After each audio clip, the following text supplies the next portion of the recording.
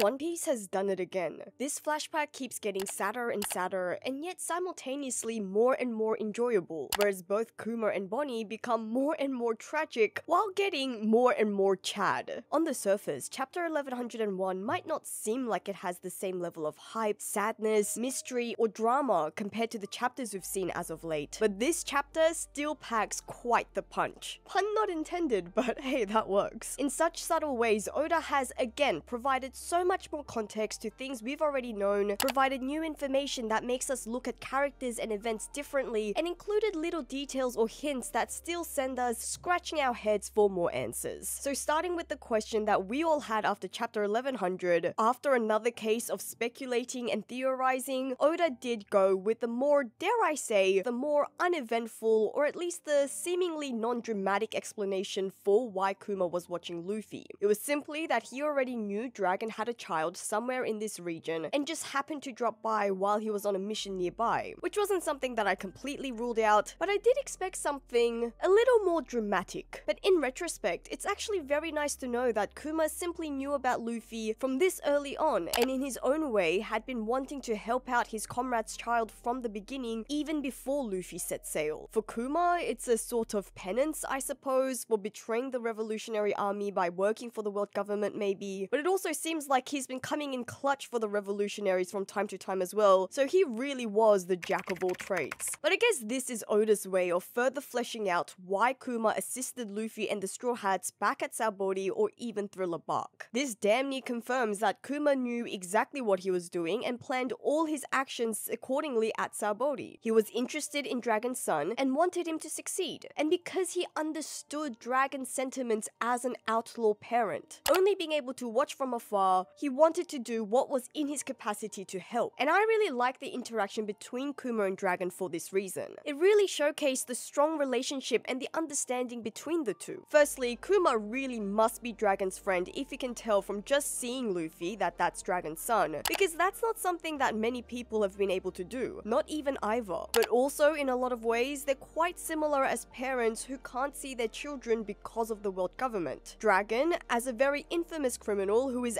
actively and directly opposing the world government, knows that being related to him would put Luffy in great jeopardy, as well as the greater good of the Revolutionary Army's missions. Whereas Kuma, whom I don't think would ever think of his relationship with Bonnie as a weakness himself or attach any sort of negative connotations to it, he has still nonetheless also made the very painful decision to never see Bonnie again in order to save her life. So Kuma understands, more than most people probably, exactly what Dragon meant by that line. Although I do think I should point out that it's not clear when this flashback inception takes place, and based on our knowledge of Kuma's history, it's most likely this interaction between Kuma and Dragon actually occurred prior to Kuma even knowing of Bonnie's existence, back when Kuma was an official member of the Revolutionary Army, because as far as we've been shown, after Kuma leaves them to become a father, the next time we see them is when Dragon points him in the direction of Vegapunk. In which case, Kuma going out of his way to check in on Luffy would mean even more because you could just imagine that after actually experiencing fatherhood, Kuma would have reflected on Dragon's word with a newfound appreciation of what Dragon was talking about. I can just picture Kuma ruminating on those words from time to time, and when the opportunity arose for him to go to the East Blue, he made sure to reflect on Dragon's words once more watching Luffy. Although actually, Kuma did stay with the revolutionaries for a while, even after being introduced to Bonnie. And I guess that's also why Dragon might have trusted Kuma with this sort of information more so than others. But I also like to think that this gave some sort of comfort to Kuma, that although he was alone in his journey, separated from Bonnie, not being able to reach out to the revolutionaries despite coming to their rescue on several moments, I think Kuma, thinking back to Dragon's words, would have reminded him that he's not alone. Not in spirit anyways. Like himself, Dragon has separated himself from the one he loves in order to do what is necessary for that very person.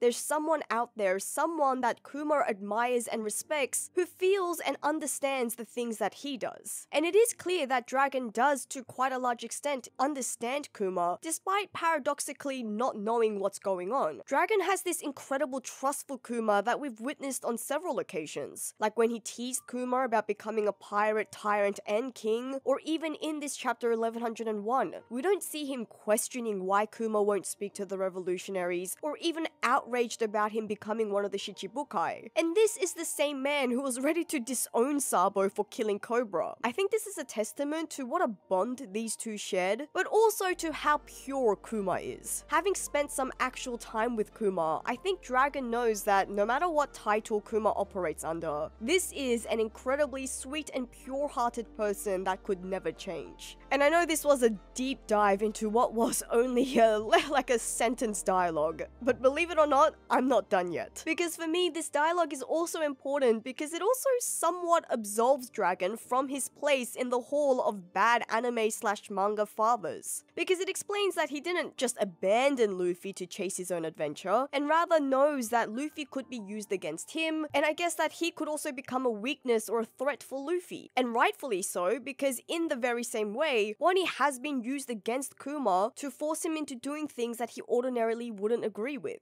And this makes me very keen to find out Dragon's backstory. Like imagine if it was used in some sort of way to keep Garp from ever acting too out of line. And this piece of dialogue is actually something that he experienced. But also thinking back to Ivankov's words that Dragon's always looking in that direction. Now this coupled with his interaction with Kuma, it really does confirm that while he may try to hide it, his longing and suffering to see his son and close this gap between them is something that can really be sensed by his closest comrades. And whenever the opportunity presents itself, Dragon will always look over to Luffy and try to even protect him when he can. And I do get the sense that this is something we will see again in the near future, and here's to me hoping that even Dragon might show up at Egghead Island. But we can move on to instead overthink another piece of dialogue that I also really appreciated, and that was Luffy's comments about being prepared for someone who's going to try and take his Nakama away, while of course Kuma is looking on. This is obviously very heavily laden with deeper meaning, most obvious because this is the attack that Luffy used to win against Arlong, and I think it's really nice to get an extended look into Luffy's training pre-One Piece. And this isn't only limited to Luffy actually, but it's a common occurrence that characters are seen pulling out new attacks that they haven't used against an enemy before, and I think that's one of the things I like most about how Luffy's gears were introduced, because they each have a background as to how Luffy developed it after seeing CP9, or his motivation to develop attacks after losing to Kuzan. So in this chapter, we see him training by crushing a large rock using the same battle axe attack. And so as carefree as Luffy's fighting style is, it's nice to see that he does put more thought into his arsenal, and that he stayed true to his words in using the attack to save Nami. But simultaneously, this is also a callback, or a flashback. Actually, I don't know how to call it when there is a reference within a flashback that is referencing something in the flashback's future, but we witnessed it in the past. Anyways, this panel relates to the encounter that he would have with Kuma later on. Because until Luffy had met Kuma, he was on a winning streak against the warlords and defeating anyone for that matter who threatened to stop his journey or take away his Nakama. But it was actually losing to Kuma that led him to being separated from all his Nakama, and it was this alongside losing Ace that opened Luffy's eyes to how much stronger he still had to get in order to survive in this pirate world. But ironically, while Kuma may have seemed like a villain in Luffy's and our eyes back then. This super strong enemy who took away his friends wasn't an enemy at all, and his actions were all to help Luffy. And ah, I just feel like I'm saying this every week, but kudos to Oda for using such a simple piece of dialogue that has so much substance and makes us reappreciate the story or certain moments in a new way. And while I'm overanalyzing scenes way too much anyways, was this a little hint that Luffy may already have had the very early nascent stages of observation haki when he could sense Kuma's strong presence. I mean, even without the deep think into it, it's pretty fun that in a forest full of animals, Luffy sensed Kuma the bear as the strongest presence around. But still, let me know what you think by leaving a comment below. And if you're new, say hello, and why not even click subscribe? This is the season of giving, and if you give me your subscription, I'll give you more gratitude than Luffy and Bonnie can eat combined. What would you do if some miracle happened. And we could walk out of here tomorrow morning and start all over again, clean, with no record, with nobody after us. Wouldn't this be a dream? A line said by a very different Bonnie to her lover and not her father, but still equally relevant to our circumstances. But unfortunately, this is One Piece, a world where dreams turn to dust and ash. Okay, I'm being overdramatic, but seriously, why does Kuma's backstory keep getting sadder? Not only has he now lost both his parents, his best friend slash lover, fallen out of touch with all of his friends and comrades, being separated from his daughter, but now Kuma can't even write letters in hopes that this is giving Bonnie at least some sort of joy. Or at least he can, but she's just not getting them. And I have to say that as sad as this was to witness, it did make me realize that Bonnie actually not receiving those letters and instead witnessing Kuma's memories for the first time at Egghead is something that will really push her to maturity. And okay, let me explain what I mean by that. Had Kuma's letters actually reached Bonnie, she would have always been shielded by and from the tragedy that befell Kuma. She would have likely stayed at Sorbet Kingdom, reading Kuma's heartwarming letters, and while Kuma meant everything he said in those letters, Bonnie wouldn't have known what Kuma had to give up and what Kuma was longing for as he wrote those letters. Which I know is what Kuma intended for, but in a way, Alpha and the world government's interference could actually be seen as the catalyst for Bonnie's journey, which is what allowed her to experience Kuma's internal struggles, and I mean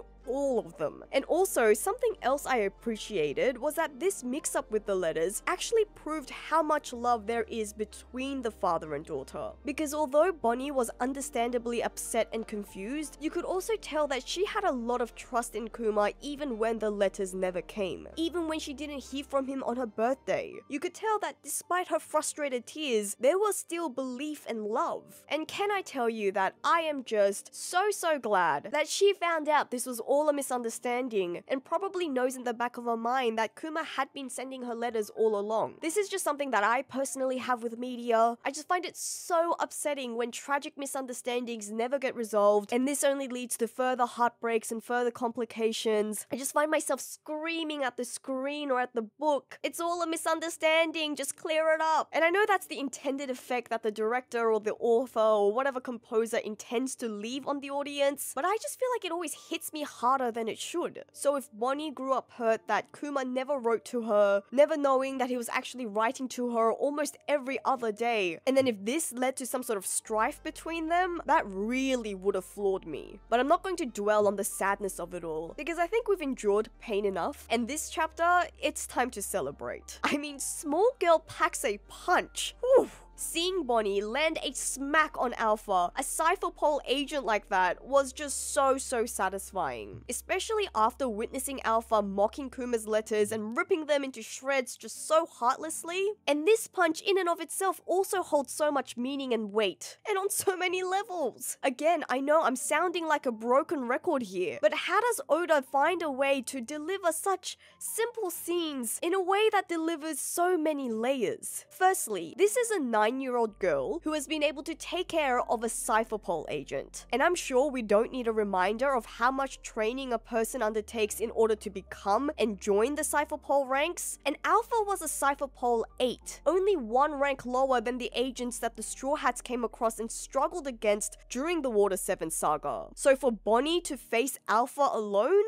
that is huge. And I've said this before, we don't need to find out who Bonnie's father is because Kuma has plenty proven himself to be father of the year. But her incredible strength and combat skills really does have you wondering, could her father have been a holy knight? And I get that this isn't Bonnie fighting as a 9-year-old per se. This is her using a devil fruit that allows her to manipulate her age as well as her physique. But then it's also equally impressive that in just such a short amount of time, she's managed to hone her devil fruit abilities to this level to pull off such an attack. Which brings us to the second layer. This is the distorted future Nika attack. And this just happens to parallel Luffy's Gear 3rd. Wow. There's just so much to unpack here, I don't even know where to begin. So this means that Kuma knew that Nika had rubbery properties. Does this mean that he recognized this in Luffy when he witnessed him? Is this why he went on to continue helping Luffy in his journey later on because he knew Luffy was Nika? I mean, that certainly would explain the great level that Kuma went to to help Luffy and the crew, but we don't get a confirmation either way. Bonnie has seen Luffy fight, but it doesn't seem like she's put two and two together, even though she would have witnessed him in Gear 5th form. Does anyone know if she's witnessed him in Gear 3rd or a Gear 3rd based attack? I suppose I could go and do the research, but I'll leave that to you. We've also seen Luffy and Bonnie to share a number of qualities already, but this also just proves even their imaginations are similar. Because Gear 3rd is a feat that Luffy's been able to achieve out of his ingenious ways to use the Gomu Gomu no Mi, which just happens to be what Bonnie also imagines when she hears rubber attacks. But this panel is also a clear parallel of Luffy's victory against Lucci, the major Cypher Pole agent that stood in his way, using the Gear 3rd attack, but it's also a clear parallel to the very beginning of Luffy's journey when he smacked the Lord of the Coast out of the way before he set off to sea. And so this is just such a symbolic panel that has you feeling so many feelings. I do feel like more sadness might be heading our way, something like Bonnie being upset because Kuma still doesn't want to see her even after she's escaped because he's afraid of what would happen to her still, or some other ill-fated circumstances that might keep them apart. But overall, I am really interested in seeing her journey from here to becoming a supernova. Was her high bounty just the result of the world government wanting her back in their control, or did she actually commit acts that warrant her supernova status? Because clearly, both options are plausible. Also, can I say that Connie is the absolute VIP for figuring all of this out and making sure that Bonnie could escape? They say that women's intuition is never wrong, and in this case, Connie was spot on, right down to keeping Bonnie's devil fruit on the down low. And I'm honestly surprised that that's something that Alpha and the other operatives didn't know of already, because I would have imagined that that's something that was disclosed during Bonnie's stay at Egghead. But hey, who cares? And now because she has proven herself to be the clever hawk, I am going to have to trust Connie's instincts here, but sending a 9-year-old child to the seas with men who can't even beat the 9-year-old girl in question in a sparring match, I have to say, that is wild. But times are dire, and this does seem to be the safest option for Bonnie. The chapter also filled in the gaps to provide a little bit more context as to when Vegapunk achieved his clone in Stussy, as well as separating his brain into the satellites. And I have to say that that is very impressive, because that's a lot of things that Vegapunk figured out and achieved in the span of less than a year. I'm a little apprehensive as to Vegapunk's words about Kuma not having the humanity to even hold back from killing a child. I mean, I hope that's not something that we will ever have to witness. And what choice words from Stussy there? The checkered fate of the cyborg turned human versus the human turned cyborg? I mean, this sort of checkered fate language is used to talk about the D-clan, and even if Kuma doesn't bear this initial, it's clear that he stands with the likes of Oden as figures who clearly should, or are deeply intertwined in the brilliant lore of it all. The whole crime of the Buccaneer race and being destined for slavery is something that's been on my mind since Saturn first mentioned it, just quietly gnawing at me at the back of my head for a couple of weeks actually. So if you have any thoughts on that, or if you have any thoughts on this chapter or One Piece